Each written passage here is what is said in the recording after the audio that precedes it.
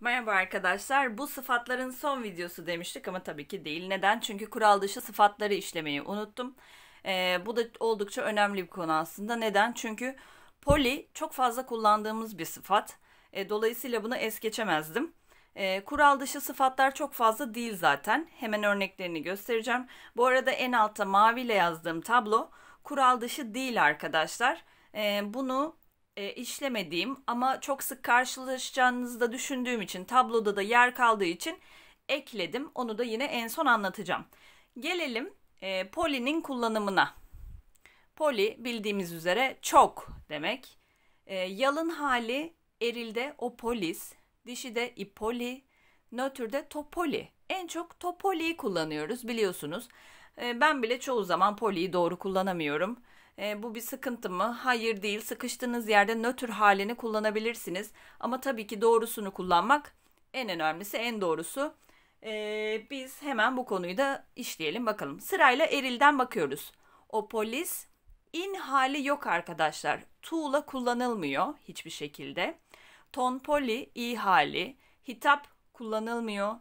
Hey çok diye kimseyi çağırmıyoruz. Yalın hali e, çoğulda ipolli çiftle alıyor. E, in hali ton pollon, e, i hali tus pollus, hitapta yine polli. Dişiye de bakacak olursak yine çiftle alıyor. İpolli, tis pollis, tin polli. Bunda da hitap yok. İpolles, ton pollon, tis polles, polles.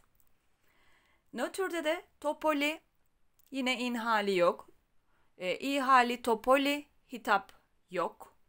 E, çoğulda yalın hali tapolla, ton pollon, tapolla, polla.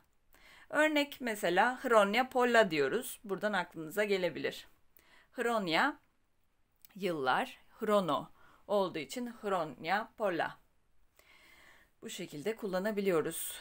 Ee, kötü bir örnekti belki bilmiyorum ama bununla ilgili örneklerle zaten karşılaşacaksınızdır. O yüzden e, örnek cümle yazmadım. Bir diğer kural dışı sıfatlara bakacak olursak üç tane bunlar. Yan tarafta yazdım zaten üçünü. Hangileri olduğunu. E, akrivis tam demek. Dietnis uluslararası demek. Sırayla okumamışım özür diliyorum. Dietnis uluslararası demek. E, epikis hoşgörülü demek. Akrivis de tam demek. Ben burada akrivisin çekimlerini yaptım. Oldukça karışık, çok kafa karıştırıcı. Sadece bilin istedim. Zaten akrivisten ziyade biz akrivos'u kullanıyoruz. O akrivis, i akrivi, to akrives. Bambaşka şeyler oldular. Hiç nötrle, erille, dişiyle alakaları yok. E, in haline bakacak olursak tu akrivus, tis akrivus, tu akrivus oldu. Çok değişti yine. Akrivu olmadı. İ halinde ton akrivi, tin akrivi, to akrives. Nötrde de komple değişti. Gördüğünüz gibi hitapta akrivi sonunda s'te görebilirsiniz. Olmayabilir. İstisnai olabilir. Yani her ikisi de kullanılabiliyor. Dişide akrivis, akrives. Çoğullarda da i akrivis, i akrivis, ta akrivi. Ton akrivon, ton akrivon, ton akrivon. Tus akrivis, tis akrivis, ta akrivi. Seslenme hitapta da akrivis, akrivis, akrivi.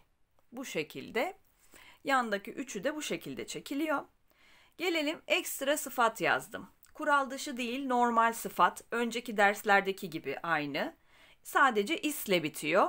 İs, a, iko ile bitiyor bunlar. Çekimleri yanda gördüğünüz gibi. Ee, hangisini çekelim? Ee, Kitriniarhis ya da daha kolay bir şey olsun. Katsufis. Katsufis. Ee, katsufis somurtkan demek. O katsufis, tu katsuvi, ton katsuvi. Katsufi. I katsifes, ton katsifon, tus katsifes. Ve katsifes. Dişi hali de e, i katsifi şey i katsifa özür dilerim.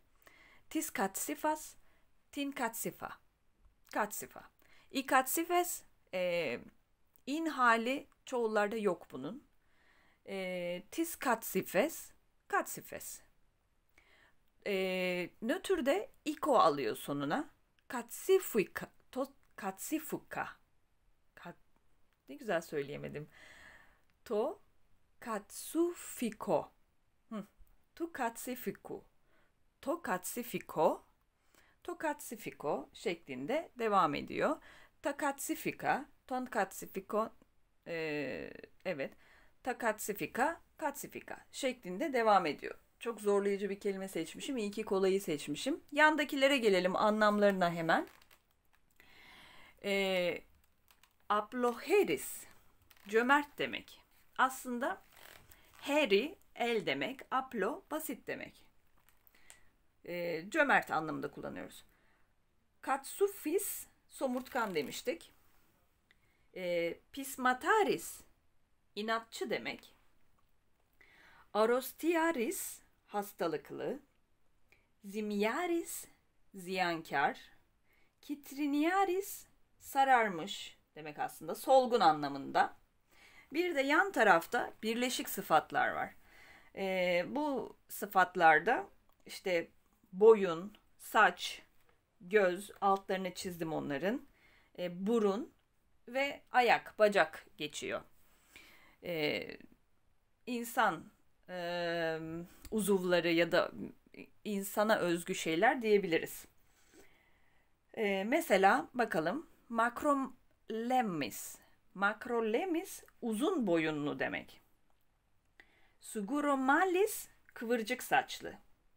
Anihtomatis açık göz demek. Açık gözlü, açık göz. Psilomitis aslında uzun burunlu demek tercüme ettiğinizde fakat kendini beğenmiş küstah anlamında kullanılıyor. Stravopodis eğri bacaklı demek. E, kural dışı sıfatlarımız ve ekstra eklediğimiz fiille sıfatların tamamen sonuna geldik. Bundan sonraki konumuz hemen arkasından ekleyeceğim çünkü onun da videosunu çektim. E, biyografi yani CV, bir iş görüşmesi nasıl yapılır e, ya da CV'de neler alınır, şey neler e, yazılır bunları öğreneceğiz. Sonraki derste görüşmek üzere.